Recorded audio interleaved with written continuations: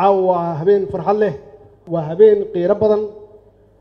Waxaan is leeyahay caawa inay la mid tahay kowda luulyo kun iyo sagaal boqol lixdankii. Dhowr casho ka hor waxaan u dabaaldegnay lix iyo labaatankii juun. Maantana waxaan u dabaaldegaynaa maalintii midnimada soomaaliyeed iyo xorriyadda gobollada koonfureed oo ay ka soo wareegtay konton iyo siddeed sano. Hambalyo hambalyo ciid wanaagsan guud ahaan ummadda soomaaliyeed meel kastay joogaan. Ummad ummad walba waxay leedahay taariikh astaan iyo maalmo. Hayaankooda qarannimo uu ka soo bilowday taariikhda ee jiilba jiilka ka dambeeya uu u gudbiyo dareenka waddannimo iyo xilka qarannimo uu noqdo mid qori isku dhiibah oo ku dhisan hab dimuqraadiyada. Ummadda soomaaliyeedna waxay soo martay hayaan hayaan dheer oo ka soo bilowday wakhti aad iyo aad u fog marxalado badanna ay soo martay. Mirihiisana la helay lix iyo labaatankii juun iyo kowda julaay kun iyo sagaal boqol iyo lixdankii. Sidaas awgeed xuskan iyo dabaaldeggan macnihiisu uu weyn yahay. Waxay tahay inaan dib u jilecno aan dib u milicsanno.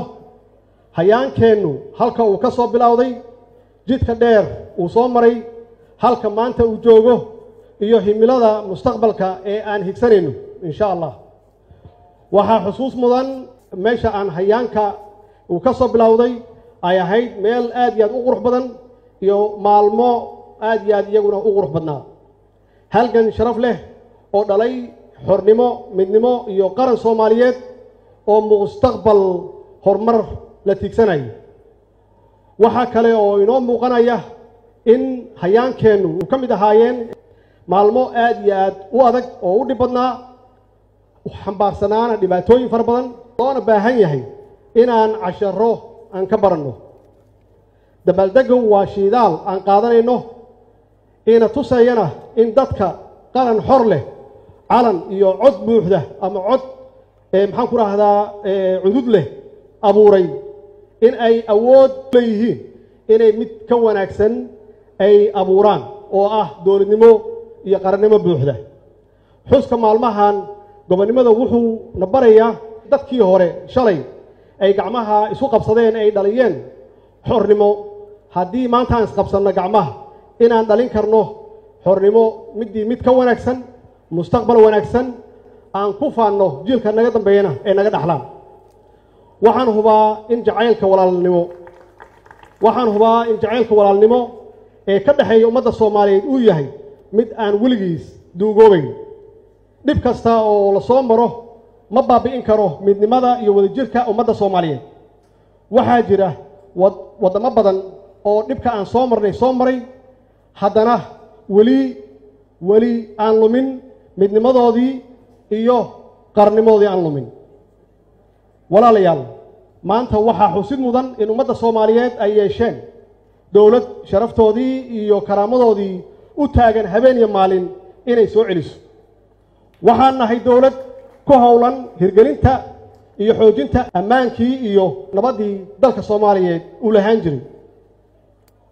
Waxaan idiin sheegayaa sidaas darteed waxaa dowladdani aqoonsan tahay in heerka aan rabno inaan gaarno aynan ku gaari karin kala qaybsanaan iyo midnimo la'aan. Wadajir midnimo iyo cududeenna aan isu geyno ayaan ku keeni karnaa waayaha cusub ama aan kula tartami karnaa caalamka. Taas ayaana waxay waxaan ku noqon karnaa waxna ku qayb kula qaybsan karnaa caalamka iyo dowladaha gobolka aan ku wada noolnahay. Walaalayaal walaalayaal dhowr cisho ka hor. Waxaan dabaaldegan waxaan idiin sheegayaa maanta waxaan maraynaa meeshii aan maraynay lixdankii. Waxa ay ku kala duwan yihiin oo keliya.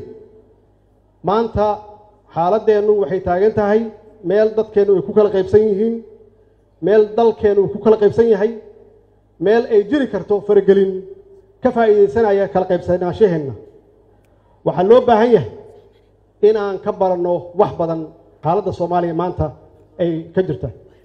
Waxay la tahay waktigii waxaan joognaa midnight oo aan u kacenno inaan saarno calanka. Insha allah berri baan dhammaystiraynaa khudbadda inta ka hartay. Wasalaamu calaykum waraxmat wabarakaatu